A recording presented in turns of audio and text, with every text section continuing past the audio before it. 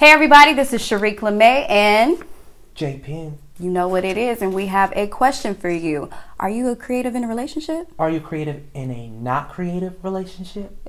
Do you have a relationship period? How do you make this work? We want to know. So we're going to find out right now. Stay tuned. Hey,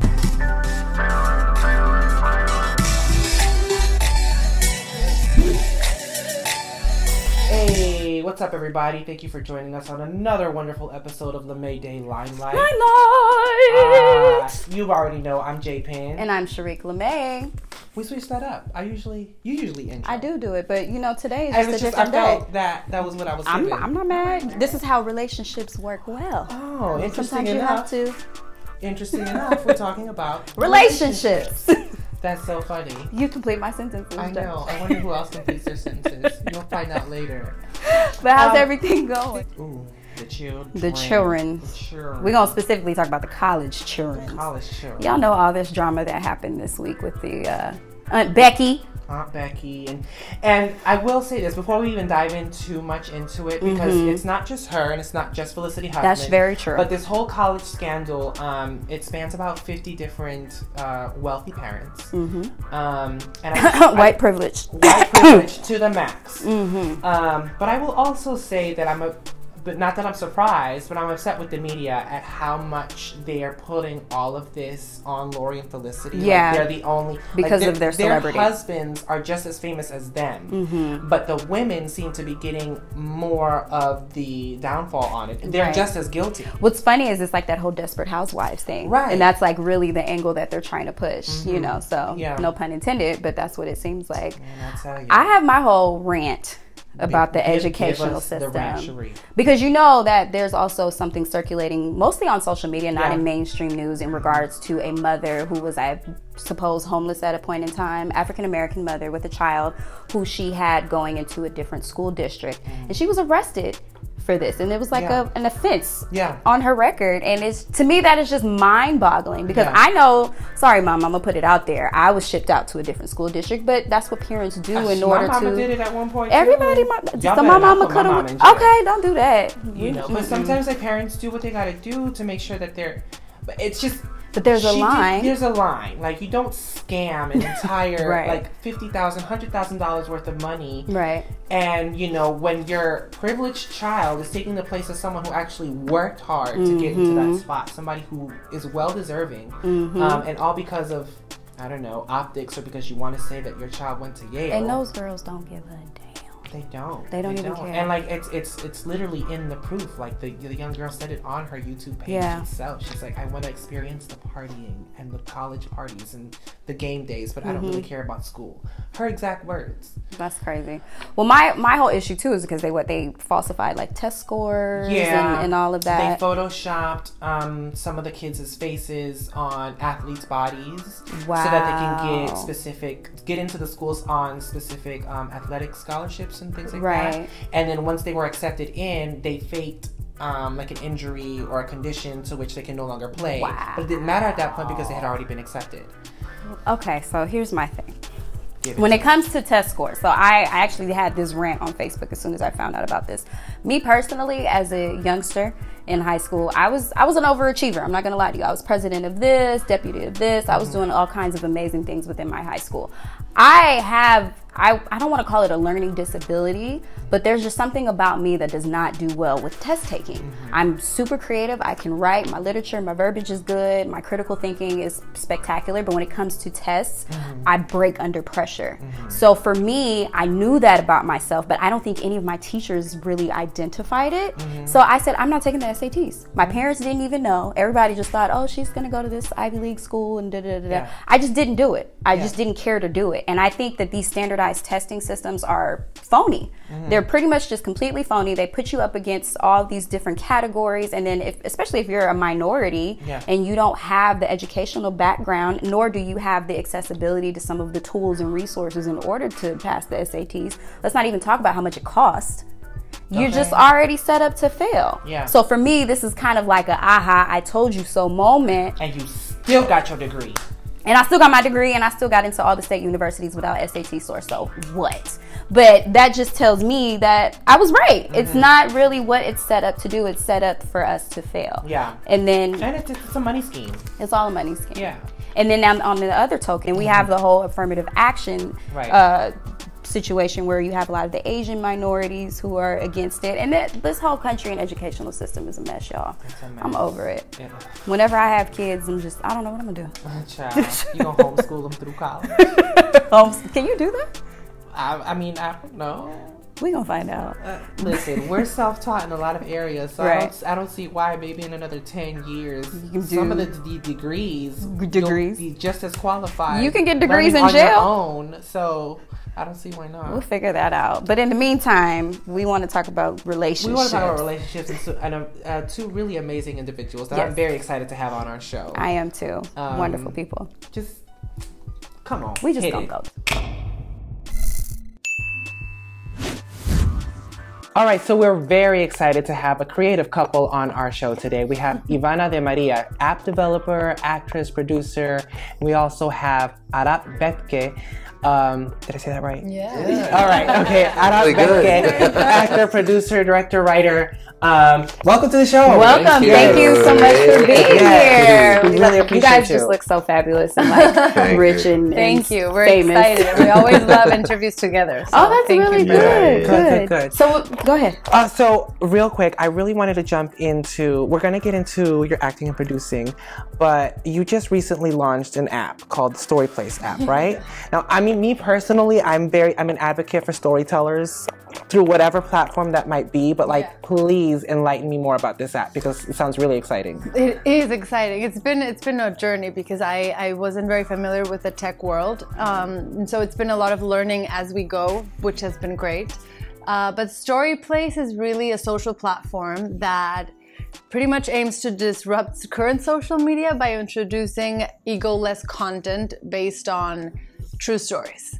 So essentially just a platform for people to share true stories and all of the stories are categorized by topics and pinned to where the story took place on a map. So it's essentially a map of true stories all around the world. I love it. So do the people videotape themselves? It's written. In format, it's a very simple uh, thousand word or less written format, so it has the, the accessibility of, of just writing a story without having to write it. Uh, To be a writer. yeah, to, you, you know, we, we don't correct grammar, we don't edit the stories at I like all. it. It's, it's, it's just because it, it kind of uh, developed a little bit of our uh, love for traveling and for talking to people all over the place. And then uh, we, we thought how to bring this oldest form of, of, of sharing knowledge as storytelling to the digital era. And so she developed a way to, to bring all of that into the digital world. But it's definitely designed for the non-writer. So it's not to be, you know, there's a lot of platforms that let you write or you can just have a blog, but it really requires you to know how to write, to be a writer. So this is really about about just you have a story to tell, you can tell it, which is everyone in the world. Right. Now does it have spell check? Because I'm a horrible speller. Well, it, it has it has the same spell check than your phone would have for a text message, for example. But yeah, but you don't need to be a writer. It doesn't have to be perfect. It's Yeah, there's so not just, there's no grades, you know. It doesn't have to be pretty or happy. Right. There's, I mean, you Yeah. can imagine a lot of stories are very emotional because it's also like an emotional outlet to share your stories. So it's been great. It's been very exciting and very cool to see what people are sharing and to people's reaction to people are not used to sharing believe it or not in a in an era where we share so much what we share is is really not not a lot of truth you know and and it's and that has turned into this whole thing of creating a false sense of truth with social media. And this recently thing that i blew my mind where the definition of the word story has been completely lost. So i was talking to these uh, teens and I was talking to them about sharing stories, and I was, you know, going on and on about Story Place.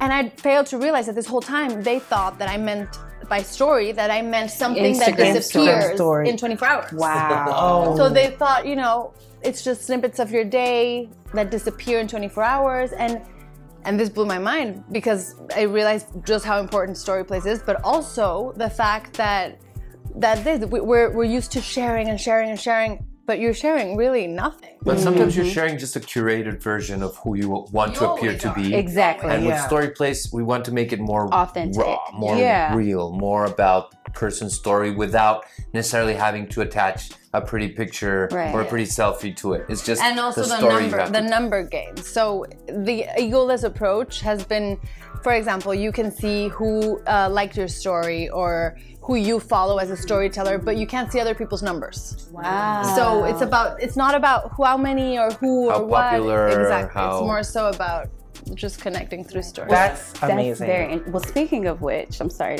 you're on the you were on the cover of Fortune magazine, yes uh, So- marie claire Marie Claire magazine. So that's really interesting to me. You're talking about ego. Do you feel some sort of that ego boost with that, or is it more about your philanthropy Yeah, work? she did not talk to me the whole week after that cover. I couldn't get a reach of her. She would not answer I was the actually phone. very excited about the Marie Claire, and he was he like didn't get it. I was like, "Yeah, it's a girl thing. It's just you don't understand. We love it." That's, so excited, but yeah. No, yeah, so what sure. was that experience like for you then? I mean, I think that especially in this industry, especially, I mean, I use social media a lot for work, and it mm-hmm. does require you to curate a lot of what you're putting out there, uh, and also because it's people don't realize that it's a huge responsibility, and that's the most worrying part of all. You know, you post something, and there's all these people listening to it, all these young girls, vulnerable girls who really believe in what you're saying. So you need to, yeah, you need to curate every word that comes out of your mouth into social media. And in terms of the ego, I mean, I think it's practically impossible to eliminate ego as a whole. That's Yeah. very true. But it's really about shifting the focus of that ego into, for example, when I do magazine covers or things like that, and it's really talking about my achievements or people believing in you. It, it's definitely an ego boost, but in a, it's you know it's also I guess a synonym for motivation and somebody's believing in yourself, and it's really nice to see that. Yeah. And it also comes with a lot of responsibility because to have a louder voice and to, to be in the cover of, of a magazine, you have to have something to say uh, that I think that transmits a positive message, message more more than just the banality of being, you know, a- an attractive person to, to look at. I think if you have something that go, that goes with that, the, Yeah. a, a positive uh, message for, Something for of change. substance. Yes, Yeah. exactly. Impact. Yes, impact. Exactly. I think that's that's really important. For that. I'm blown away. I know. These guys know. are awesome. You guys are just, you guys are taking it away. Okay, so y'all y'all are doing a lot, a lot. Um, you're also working with Salma Hayek. You're co-producing Monarca on Netflix. Tell us a little bit about that project. Well, I produced so Monarca is a TV show that is based in Mexico City, uh, but there's a part of it that is in LA. So Lemon Films is producing, Lemon Studios is producing the Mexico City part of it with Salma Hayek as well. Salma Hayek is an executive producer on the show, and it's for Netflix. And I produced the part that happened in LA. Uh huh. So we all Wow, that's awesome. Yes, it's a very cool project, and it's definitely um, it's gonna come out this year. I'm not sure when. Okay. Uh, but it's it's very exciting and it's very risky and different content. I think for Netflix and especially for the uh, Latin American market. So I'm very excited to see. You're also starring in it. no, No, you're just No, okay. just cool. producing. Got it. Awesome. Okay. Okay. Bueno, dale. Well, I want to jump into the relationship stuff because you guys, I, first of all, how you're finishing each other's sentences, it's great. I love it. We got to keep it going. so this this actual episode is about relationships and you know romantic relationships, friendships, and being a creative. So both of you are both very creative people. How has that been for you working with each other in the in your relationship? well, first off, how long have you been together? Yeah, we want to. two years. Okay. A little over two years. We actually met on set, Okay. yeah. and now we actually are co-writing, co-producing, Yeah, co-acting in a feature we, film. we we started a relationship as a long distance relationship kind of thing. And a friend of mine told me listen to make this work you guys should read a book together so we started reading a book together you know over the phone or on But I mean, like he would read to me or I would read to him. It's not At like we both yeah, read it. yeah. It's like actually. and then we said why don't we take it to the next level we always uh, spoken about writing I stuff thought it meant something else. No, he meant let's write a script Yeah, together. like, yeah, let's I was write a like, script. Oh, okay. yeah so um so we started writing a script but we would actually make appointments so we, we would get on skype and we'd say we're going to write from 8 to 10 or- and and it was two writers. She, she would be like, "So what do you think of them?" I'm like, "No, no, no, no. I'm not talking to my girlfriend right now. We're writers." was- and then he would actually hang up and then call me back as my boyfriend. Yeah. It was ridiculous, but it, it worked. Yeah, but it worked. It, It worked. we- we ridiculous, had to really. worked. I think one of the most important things of co-creating things together, especially as a couple, is to be able to separate, Yeah. kind of put the things in different uh, boxes. You know, a little bit and not Compartmentalize. yeah, Yeah. and not mix them because then it kind of gets messy. We we, we try to keep these schedules where we write or we create or we work on certain projects, mm-hmm. and then that also has to do a lot with our relationship. But we try to to separate in in, in time. Yeah, and time actually, our script is about a couple's therapy, so it's kind of yeah, funny. yeah. Well, it seems to be effective. Well, it's actually it's funny because as actors, you know, writers don't act, and mm-hmm. so it, you see that a lot as an as an actor reading some scripts. You're like, who, who speaks like that, you know? Mm-hmm, mm-hmm. And then so in, in some of the dialogues of the of the feature film, we would put our phone and like you know record, and then we would start actually acting out the scene and we, fighting we would like say, improv. okay, this is circumstance, this is your characters. Okay, let's go at it. And we started fighting and ranting and just you know going crazy. The, the Then were they like real scenarios, or you made like the we- movie we- scenarios, like yeah, in character scenario, of the movie, because we're also going to act in the movie. the neighbors so- sometimes thought it was real. They would come knocking on the door. We're like, no, no, we're No, working. no, no. We'd not be good." like, and then we say, stop. Okay. They're like, okay, let's hug it out. Okay, let's write it. Okay. it was ah. really, it's been amazing. That's amazing. yeah, yeah, it was fun. It was I'm gonna try learn. that with Yeah. my boyfriend. You should. So It I is. It wanna should be a therapy. I want to know. So you guys are both creative. So could you tell us a little bit about what it's like in comparison to dating someone who isn't a creative? Like if you were, if someone in the past that you've dated that, is there a distinct difference on what that's like and feeling supported by that person? I think there's a big difference, not necessarily in being creative, because you can be creative and not work in creative industries Yeah. necessarily, but it's more so, I think, about specifically our industries mm-hmm. are mm-hmm. so unstable. Yeah. financially, physically, emotionally. I mean, it requires a lot of instability, mm-hmm. and it requires a certain personality to be able to handle that. Yeah. Uh, as actors, of course, it's it's very difficult in, in, in acting situations. You know, you need to understand that world in order to really understand everything. And then there's this whole trust thing you need to build, and you're constantly in long distance, so you need to find ways to make that work. I've thought about it a lot, and yeah, I've had other relationships where. I, actually, it's very rare to share exactly the same sort of path. They weren't. Um, they weren't as good, obviously. Uh, but it's definitely, you know, I've thought about it because sometimes I don't know, we'll both have a Tuesday that just happens to be our free day. So we're like, oh, Tuesday, Sunday. And then we'll just take Tuesday off and, and you know pretend like it's Sunday on Tuesday because Sunday we were working. That wouldn't be able to work with somebody who has a nine to five every day in the financial district and you know what I mean. and- So and I- as you said, more so of the of the job that the person does. I think there's an inherent creativity, and and and we kind of look. Uh, for those people in our lives, in in, in, in emotional relationships and, and friends relationships, I think when you're in this creative world, you thrive to to find people who are also creative minded and, and who see the world in a different way. Not necessarily being an artist or, or you know a, a painter, a musician, or an actor, but just people who see life in a more creative way. I think. It, for us, it's been very nurturing and, and, and it's it, it- it's inspiring, you know, to see people that are creative in so many different ways.